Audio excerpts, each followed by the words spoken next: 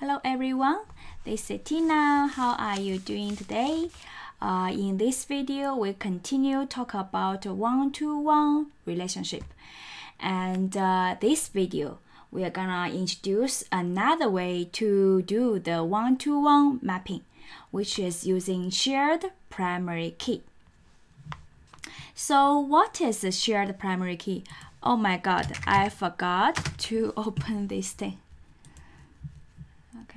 a little bit slow.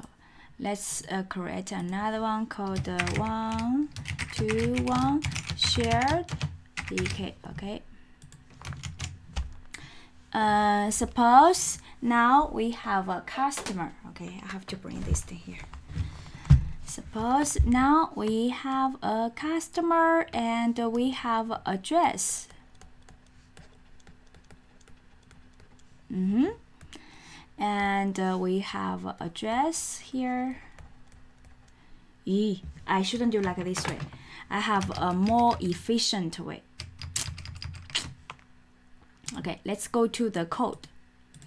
Go to the code. So first I'm gonna comment this entity okay? This one is using a join uh, column. Okay watch my previous video okay? And uh, I'm gonna create another package here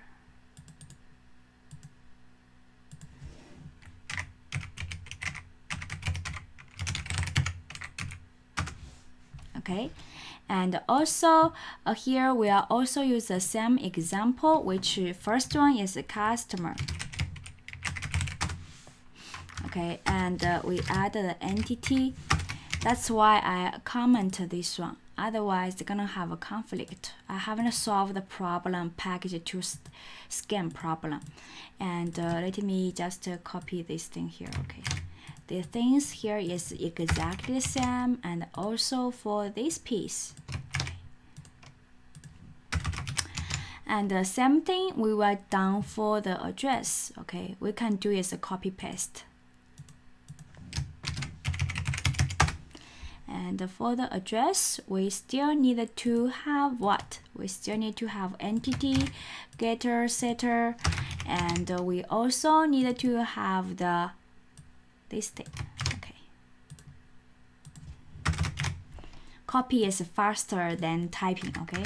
So so far we have our project set up like this way okay? Uh, under the customer and uh, this is address and now the customer and address has no relationship okay? Now if I want to using shared primary key what's gonna happen? Private customer oh sorry address and address okay. As we know if we add one to one annotation here by default it's gonna create two tables.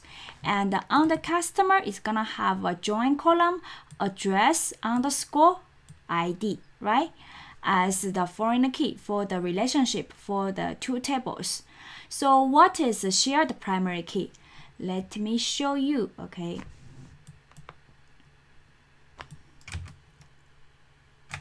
Eh, how to do this one? Eh, yes, this one, this one, this one. Okay, good, good. Shared primary key is like this. So now we have two table, okay? Two table. First is a customer table. Customer table has how many records? The first one is ID and we have a first name and we have a last name. Okay, and for the address, we have what? In the address, we have ID, as primary key, we have a street and we have a zip code. So what is a, a shared primary key? Shared primary key is like this. The customer, I have my, I have our first customer, okay? First customer, one. Uh, name is uh, Tina and uh, last name is XING. And in the address I have a first address 10052556 so you can see the two records now okay? For the shared primary key which means when this primary key which one? When this primary key in customer and this primary key in address they are the same right one match to this one and we will think customer one Tina XING will have uh, this one one thousand five two five five six this address. This is called a shared primary key. Give you another example. Suppose now we have another record. Suppose now here uh, we have another record. Here I have address two, uh, three, three, three, three. Okay, one thousand five two five five seven, and here we have another customer, Miss X I N G, and I have three, A B C. Uh, A, uh, let me using this one. Hello, world. Okay, and. Uh, so for the two, this customer, does this customer has address? So how to find out? In the address table, search if we have any address, the primary key is 2. And here we don't have. So for the second customer, Miss XING, it doesn't have address. And then for the third, how to find if this hello world has any address? Using the hello world primary key. Okay to search in the address table. Do we have a address? The primary key is 3 yes i have.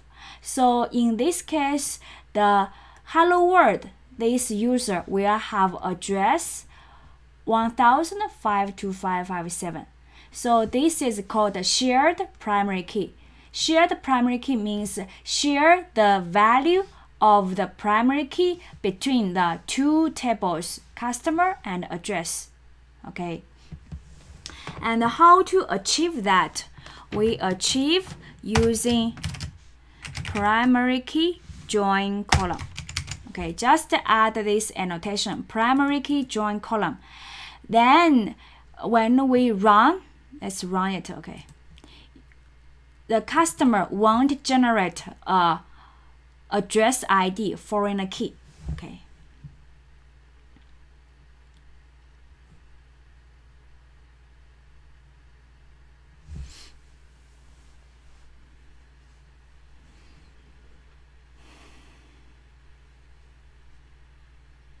okay let's go and probably from here you already see uh, creation okay mm, good. Let's do do a little or like this. Let's go to the table. Refresh. Okay two table here. And when we see address id street zip code. Go to customer. Still id first name and the last name. And in this case you have to maintain the primary key between the customer table and address table. Have the same value if they have a relationship Okay, so now let me make a little bit change. You tell me it's uh, correct or not correct. Okay, so under the uh, customer, I have uh, generated value here. And uh, under the address, okay, I have uh, generated value here. Will this one be correct? Think about it generated value generated value annotation here. It means you as you uh, ask a database to auto generate value for us right? When we do like this it won't work. The reason for that is for shared primary key. For shared primary key okay let me use it. For shared primary key we have to maintain if the customer one has a relationship with this address one, we have to maintain the value between the two table. But if we add the generated value here and add generated value here, they might be different because suppose I insert the customer one, two, three, then I insert another customer here is gonna be four, right? For something, and I insert another customer uh, for the for this customer uh, ABC, ABC. It doesn't have address, okay? Then I insert another customer which has address. So for auto generate, the next sequence is gonna be five, right? One, two, three, one, two, three. Okay. And now if I using auto generate in the address, the next value is four. Four, one thousand one, one thousand one. So with shared primary key, in this case, this address should be for the five. But when we use shared primary key, it gonna belongs to the customer four. So when we using shared primary key, make sure on the other side, don't using generated value. You can you can have a both of the class has assigned value, it's fine. But if you want to have a generated value, make sure only the owning side of the relationship has a generated value. The other side is after you save persist the customer you using dot get id then you using this id set to the address id so you maintain customer and address have the same value for the primary key. Okay. So keep in mind okay for the address okay not do not using generated value. Make sure this part is assigned okay. So uh, that's it for the shared primary uh, shared primary key uh, to do the to man to map the one to one unidirectional relationship. And if you still have question you can leave a comment below. Okay that's it. Thank you for watching and the next video gonna be the one-to-one bidirectional shared primary key. That's it. Thank you for watching and see you next time 拜拜。